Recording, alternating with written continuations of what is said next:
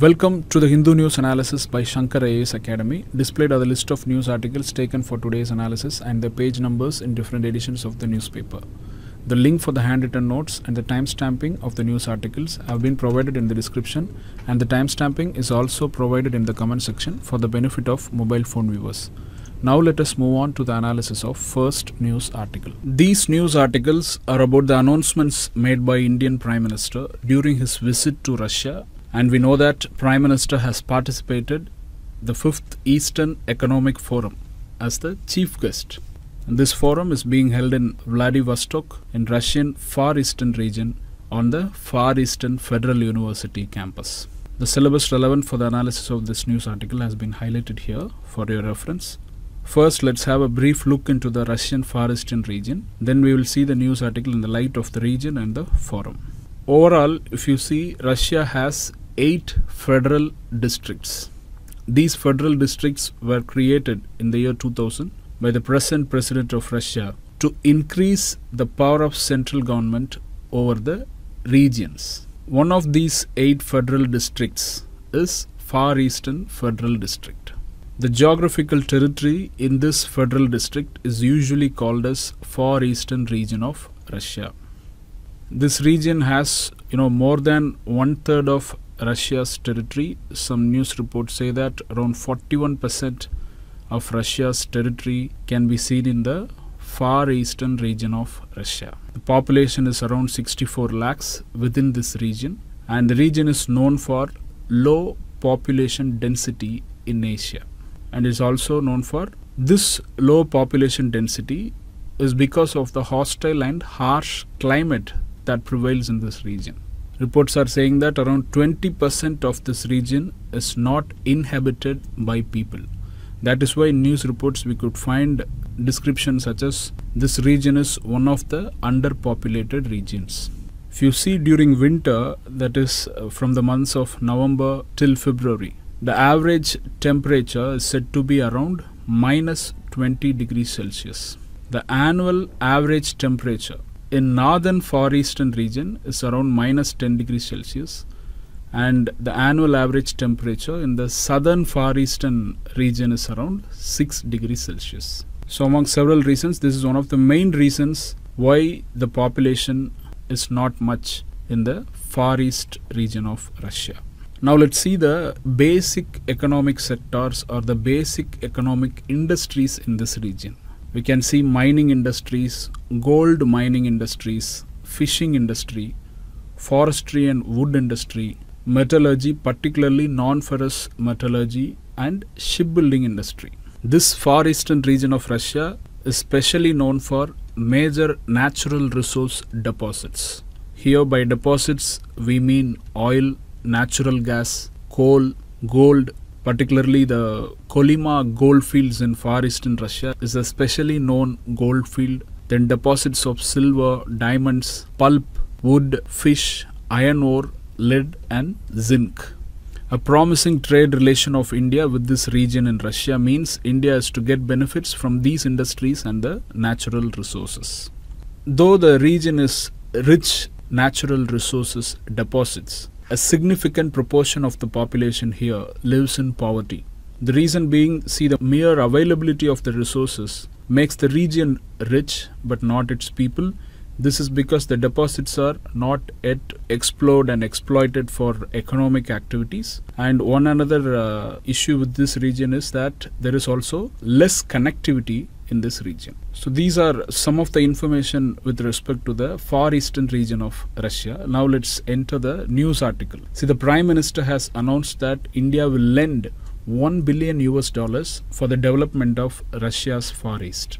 This line of credit is part of economic diplomacy and also part of India's engagement with East Asian region under the East Asia policy or under the Act East policy. To be specific, the engagement of India with this Far Eastern region will be herefore uh, called as India's Act Far East policy. India has understood the geostrategic uh, significance way back in 1990s. See, in 1992, India has become the first country to open a consulate in Vladivostok in the Russian Far East. and one another consulate of India is located in uh, western region in Russia, that is in Saint Petersburg. We have our embassy in Moscow. Oh, it is said that the industrial conglomerations in Russia, particularly in this region, is short of labor force.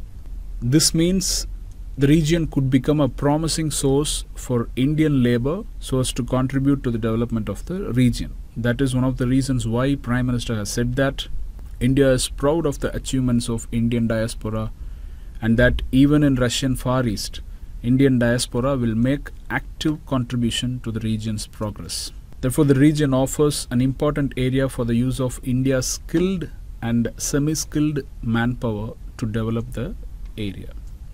So the article mentions that the recent visit of Indian Prime Minister has opened up new investment opportunities for India in this region. So this means India is set to benefit from the economic opportunities in the resource rich region.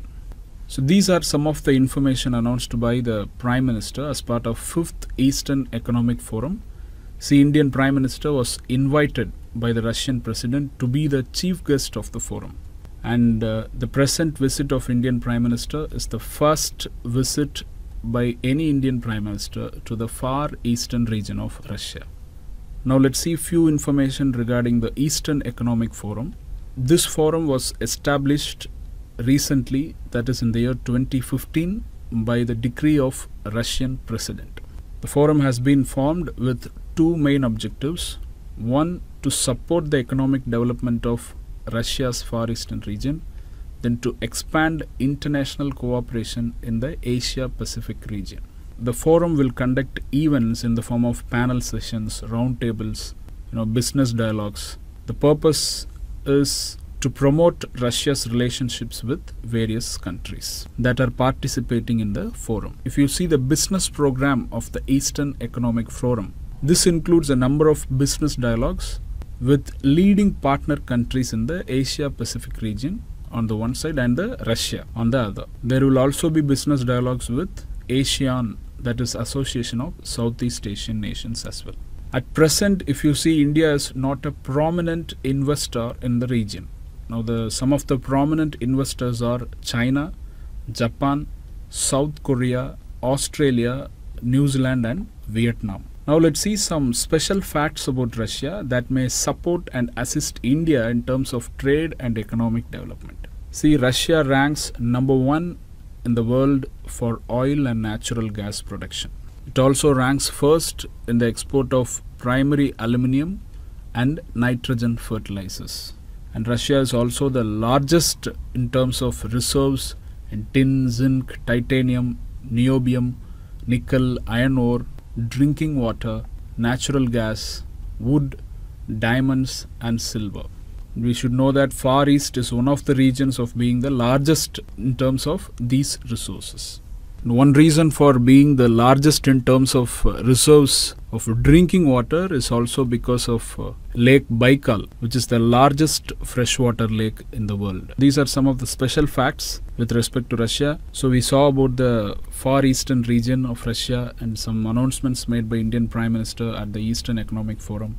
We saw the EEF in short and we saw few facts about Russia. So these are some of the information with respect to the analysis of this news article.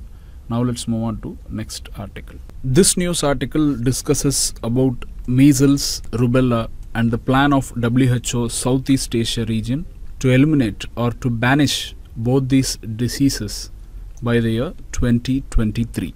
We will see about the both the diseases, the immunization program of India and the vaccination strategies for these diseases and we'll also see the recent developments that happened at the 72nd session of WHO Regional Committee for Southeast Asia. Recently, we saw about the Southeast Asia Regional Health Emergency Fund day before yesterday. We also saw about the Delhi Declaration on Emergency Preparedness. The fund and the Delhi Declaration was with respect to disaster management. Today's news article is with respect to measles and rubella. Measles is an infection of the respiratory system and this is caused by a virus called as paramyxovirus. Humans are the natural hosts of this virus. It's a highly contagious, communicable disease. Can spread from one person to another person easily. So we have to keep in mind that human to human transmission of measles infection is possible. This can happen through the droplets from nose, mouth or throat of the infected persons. And the virus can be released into the environment by sneezing or coughing. Some of the symptoms of measles include fever, conjunctivitis and common cold or coryza. Conjunctivitis, it is an inflammation or swelling of the conjunctiva it is nothing but conjunctiva is the thin transparent layer of tissue that lines the inner surface of the eyelid and it is this thin transparent layer that covers the white part of our eye. This conjunctivitis is a common eye disease especially in children. It is also called as pink eye. Coming to the health complications that could result because of measles infection, see it could lead to blindness, encephalitis, severe diarrhea, ear infections, or even some severe respiratory infections such as pneumonia. Severe measles is most likely among the poorly nourished young children, particularly those having vitamin A deficiency. Severe measles can also be noted among the children whose immune systems have been weakened by HIV, AIDS, or other diseases. Measles is called as a killer, major killer childhood disease by the World Health Organization. Now let us see with respect to rubella. Both measles and rubella are viral infections or viral diseases. This rubella is caused by rubella virus. Similar to measles, it is also a contagious infection. Virus can spread through air by droplets from infected person to uninfected. Humans are the only known hosts to this virus. It's a mild infection with symptoms including you know rashes, low fever, nausea, and mild conjunctivitis.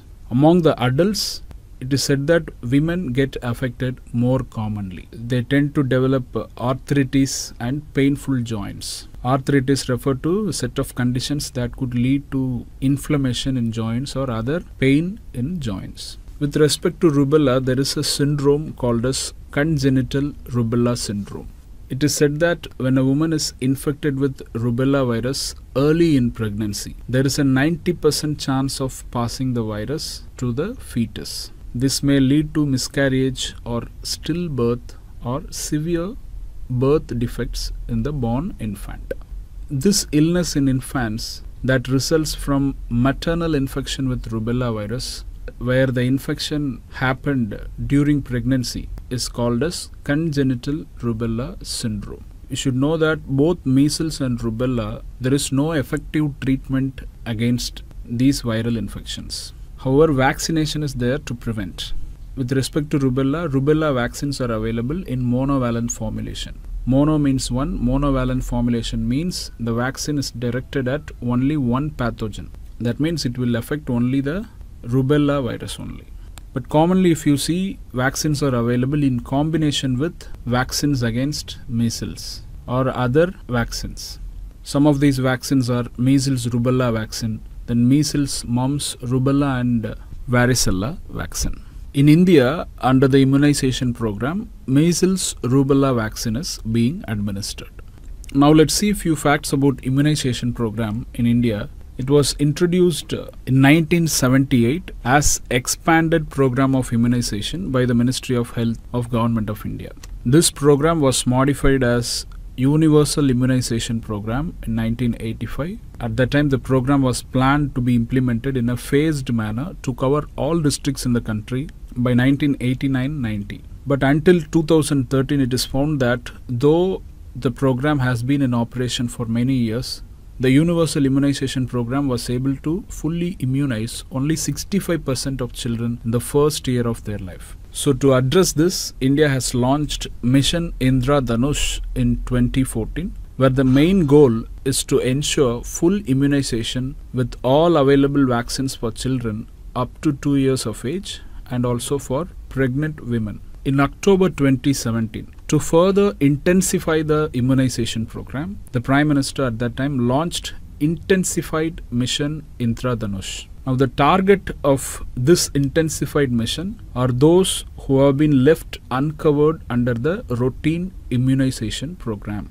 So, under this mission, the government aims to reach each and every child up to 2 years of age and all those pregnant women who have been left uncovered under the routine immunization program. So, now let's come to the news article. It states that the member countries of Southeast Asia region of WHO have resolved to eliminate measles and rubella by 2023.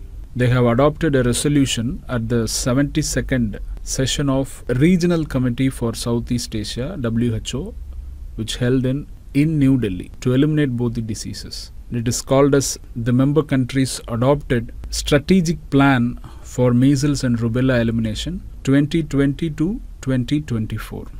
The strategic plan lays down the roadmap and focus areas to achieve the elimination targets in the Southeast Asia region of WHO. Now, they are saying that uh, eliminating measles will prevent almost 5 lakh deaths in one year or every year in the Southeast Asia region. Eliminating rubella and congenital rubella syndrome will prevent 55,000 infections of the disease. So, eliminating rubella and uh, rubella syndrome, congenital rubella syndrome, will promote health and well being of pregnant women and also infants. The news article mentions that elimination of measles and control of rubella has been a flagship priority in this region since 2014.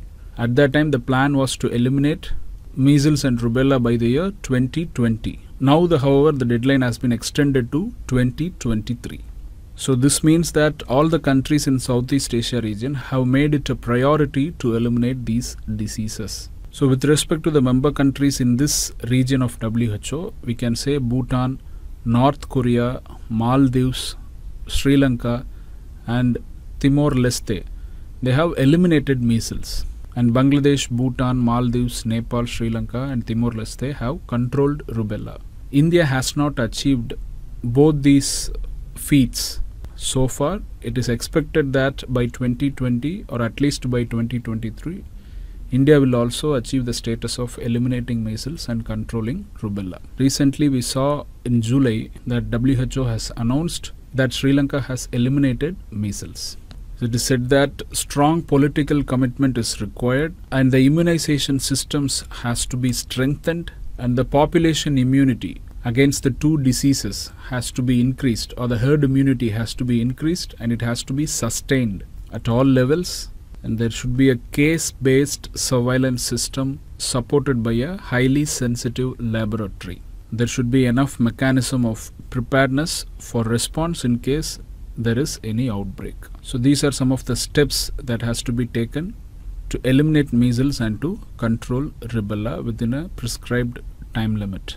Now coming to the regional office for Southeast Asian region, see it was established in the same year WHO was established, that is in 1948. Day before yesterday we saw about the six regions of WHO, one among them is Southeast Asian region. We saw that it has 11 member states, six member states are from SAARC except Afghanistan and Pakistan. Then we have North Korea, Indonesia, Myanmar, Thailand and Timor-Leste. So these are some of the information with respect to the analysis of this news article. We saw about uh, measles, rubella, congenital rubella syndrome and the developments that happened uh, in the 72nd session of WHO Regional Committee for Southeast Asia and New Delhi. Now let's move on to next article. This news article discusses about the institutions of eminence the syllabus relevant for the analysis of this news article has been given here. See, the status of institutions of eminence is granted based on the declaration under the Institutions of Eminence scheme by the Ministry of Human Resource and Development. This scheme was launched to implement the government's commitment to empower higher educational institutions and to help them to become world class teaching and world class research institutions. 10 public and 10 private institutions are to be identified, selected, and to be declared as institutions of eminence so that within a period of 10 years they will emerge as world class teaching and research institutions and they will also enhance affordable access to high quality education for ordinary Indians. These declared institutions has to reach top 500 institutions in the world ranking within a period of 10 years from the declaration. We have discussed the information about institutions of eminence on 3rd August. On that day, the news was about the recommendations given by University Grants Commission and also by the Empowered Expert Committee, which is constituted to select or to recommend certain institutions that can be declared under institutions of eminence scheme. Now, today's news is based on the press release given by Government of India titled as Steps Taken to Implement the Institutions of Eminence Scheme. So according to the information, the Ministry of HRD, on the advice of UGC and the Empowered Expert Committee, have declared five more public universities as institutions of eminence. And they are IIT Madras, Banaras Hindu University, IIT Kharagpur, University of Delhi, and University of Hyderabad. These public institutions they will be eligible for a government grant of rupees 1000 crore we saw five more government institutions are declared as IOE. So what are the institutions that have been declared as institutions of eminence already? See these are Indian Institute of Science, Bangalore, IIT Delhi, IIT Bombay. So as of now of 10 public institutions, 8 public institutions have been declared so far two state universities or two public uh, institutions have been selected but have not declared as IOE and they are Jadavpur University of West Bengal and Anna University of Tamil Nadu. They were selected by Empowered Committee. However, they have not yet declared because the concerned state governments have not yet indicated their commitment towards the financial contribution under the Institutions of Eminence scheme. Now in private category, for 10 institutions, they have to be deemed universities or they have to be considered under greenfield category. Here so far for around 8 institutions letters of intent have been issued by Ministry of HRD and these institutions have to accept the letters of intent they have to send their preparedness for being declared as institutions of eminence. For two universities, Shiv Nadar University in Uttar Pradesh and one another university in Haryana. These universities were given letters so that for their consideration for declaration, the concerned state government has to pass legislation in their state assembly to discontinue the status of these institutions as private universities and they can be considered as deemed universities under the institutions of eminence scheme under the institutions of eminence scheme so the status is eight public institutions were declared as IOEs. Four institutions declaration is pending for state government's confirmation and eight institutions under private category have been given letters of intent. Now coming to the benefits of institutions of eminence. The government institutions that are declared under the scheme, they will get additional funding up to 1000 crore. All the selected or declared institutions, they will have complete academic and administrative autonomy and regarding financial autonomy, they will have complete financial autonomy to spend the resources that are raised and allocated, however, subject to general conditions and restrictions under the scheme. No government approval will be required for these institutions to go for academic collaborations with those foreign higher educational institutions that are listed in top 500 ranking and these institutions will have the freedom to hire personnel from industry and other uh, fields as faculty, they may have experience in their field but may not have the requisite higher academic qualifications. That freedom to hiring is also available to these institutes. And these institutions can have 25% of its faculty strength to be recruited outside India. They will have the freedom to have own transparent merit-based system for admission for students. They will have the freedom to fix and charge fees from foreign students without restriction. They will have the flexibility in fixing the curriculum and syllabus and there is no requirement for them to follow UGC mandated curriculum structure. At the time of declaring, the faculty student ratio has to be 1 is to 20. However, within 5 years, the faculty student ratio has to increase to 1 is to 10. These are some of the benefits once the institutions are declared as institutions of eminence. This news article is about State Rooftop Solar Attractiveness Index, shortly called as SARAL. This index has been designed collaboratively by the Ministry of New and Renewable Energy and three more institutions. They are Shakti Sustainable Energy Foundation, then Associated Chambers of Commerce and Industry of India, then Ernst and Young. Here, Shakti Sustainable Energy Foundation is a non-profit company that was established in the year 2009. Now, its purpose is to support India's sustainable development and clean energy objectives. Their mission is to aid the design and implementation of policies of government that promote judicious use of existing energy reserves and also development of cleaner energy alternatives. Ernst & Young is a professional business consulting and management firm that has also collaborated in this index. This index was launched by the Ministry of New and Renewable Energy in last month that is August 2019. This index evaluates Indian states based on their attractiveness for rooftop development with respect to rooftop solar deployment.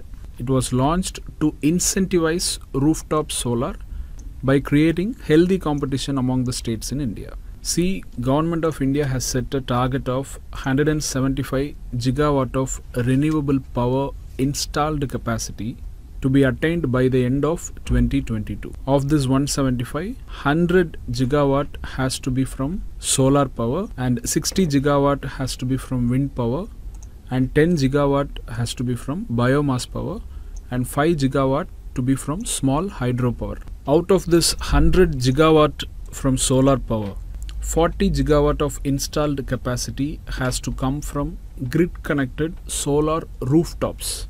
When we say solar rooftops, it means the electricity that is generated by installing solar photovoltaic panels on the top of the roofs. Rooftops of residential buildings or commercial buildings can be utilized for generating electricity. And this electricity that is generated will be connected to the grid that is the main power line of state power utility. So this is what we mean by saying grid connected solar rooftops. So because of this ranking, it is understood that the index will encourage each state to assess the initiatives taken so far or what it can do to improve its solar rooftop ecosystem. And the exercise is likely to create more conducive environment for solar rooftop installations and it will encourage investment and thereby it will accelerate growth in this particular sector.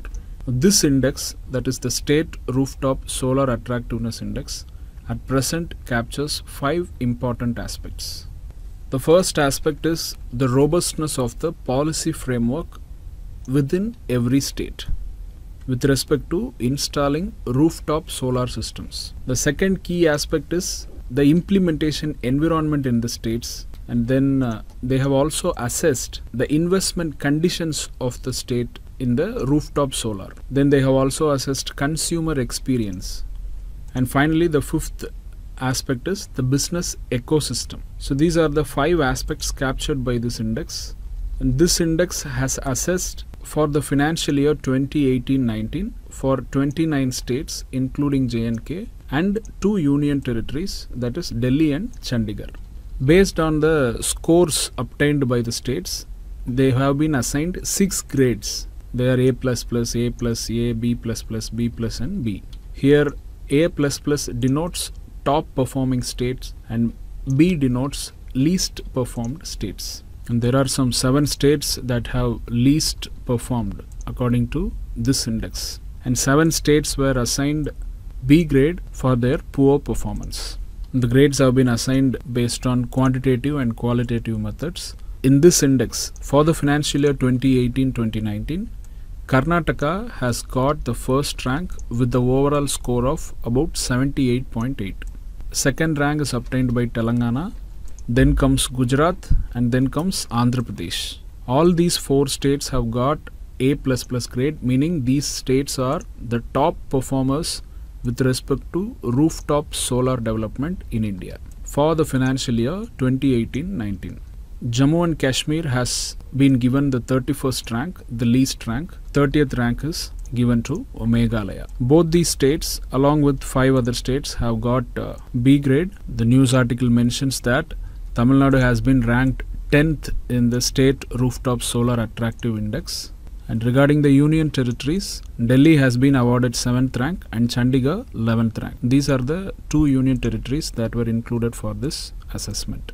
The news article mentions that Tamil Nadu aims to have an installed solar capacity of around 9000 megawatt that is 9 gigawatt by the year 2023 and 40% of this will come from rooftop solar systems. Similarly, every state will also have a certain ambition to be achieved within 2022 or 2023 according to their concerned state policies with respect to solar energy. So these are some of the information with respect to the analysis of this index and this news article. Now let's move on to next article. This editorial article talks about hepatitis B and the reasons for its prevalence despite the availability of vaccine.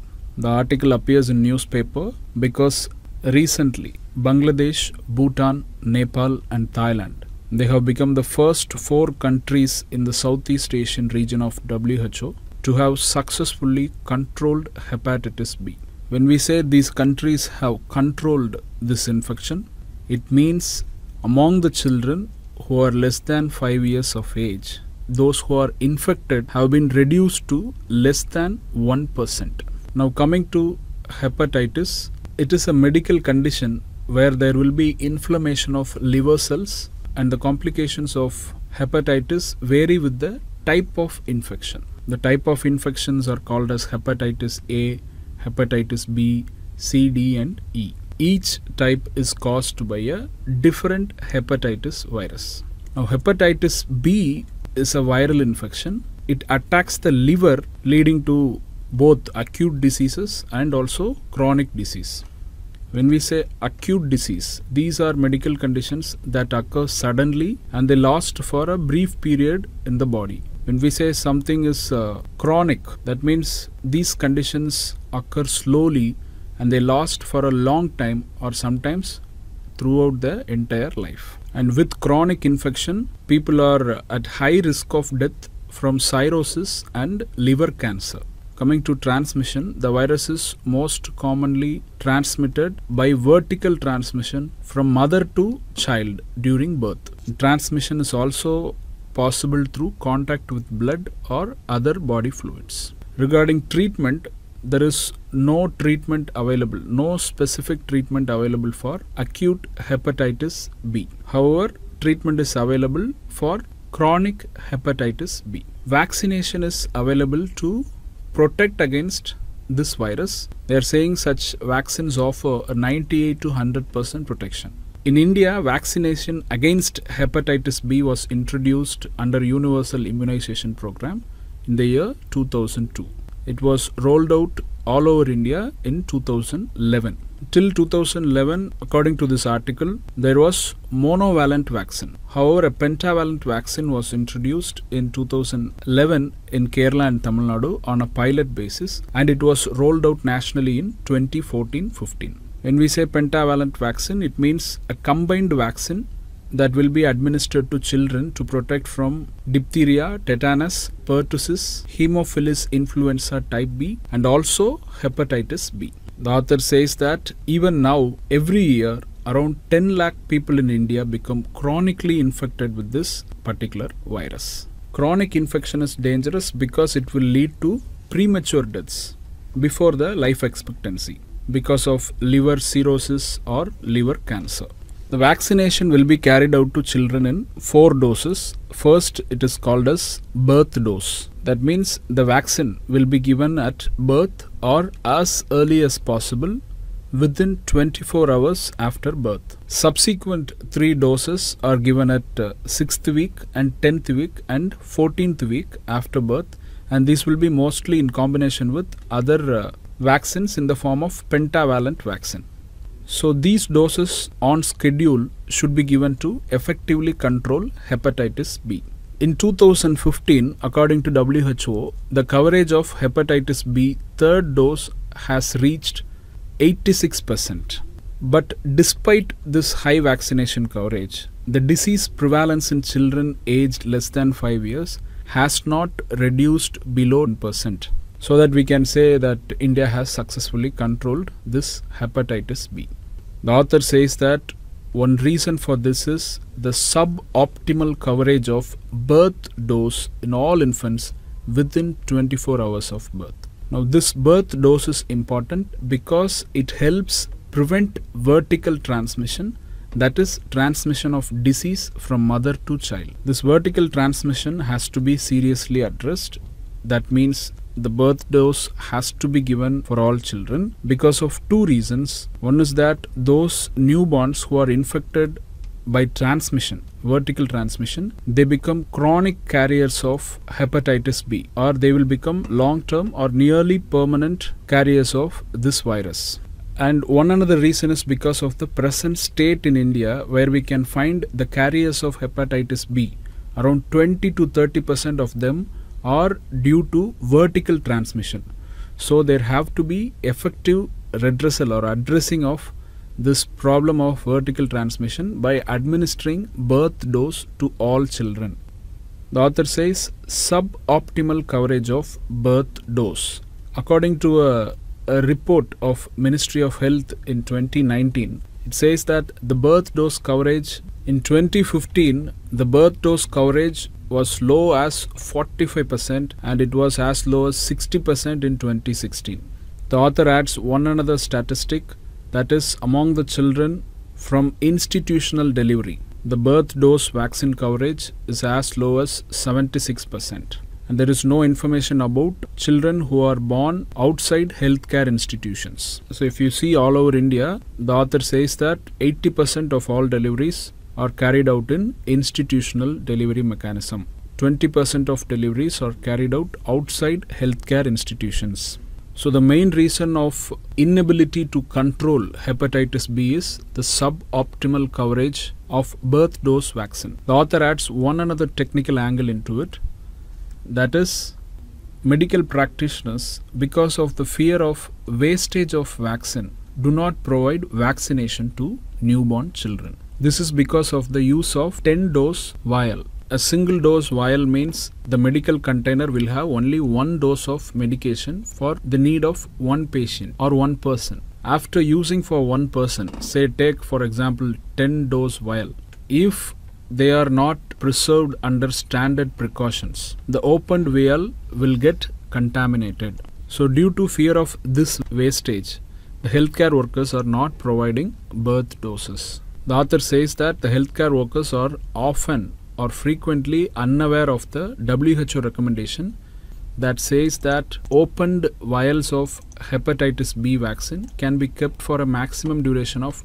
28 days so that it can be used for other children also.